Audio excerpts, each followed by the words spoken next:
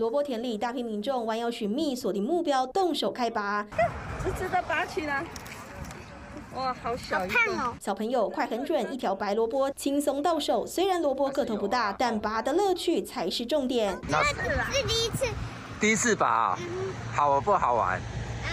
小朋友玩得开心，但家长也感叹，没想到萝卜田开放自采会吸引这么多人。才开放不到两小时，萝卜就几乎快被扒光光。不知道过来就这样了。啊，没有，所以要仔细找，不然几乎没有了哈。对，没错，可惜就太晚来了。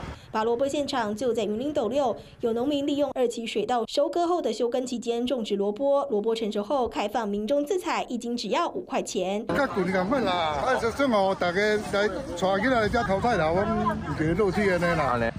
做汤得啊！啊，滚汤都做只啊！系啊，伊这即马价位是多啊。就有拔萝卜高手摘了满满一大袋，上称计价。来，二十二十斤了，啊，你唔得二十斤，要加一百块呢？一百一百。安尼有俗不？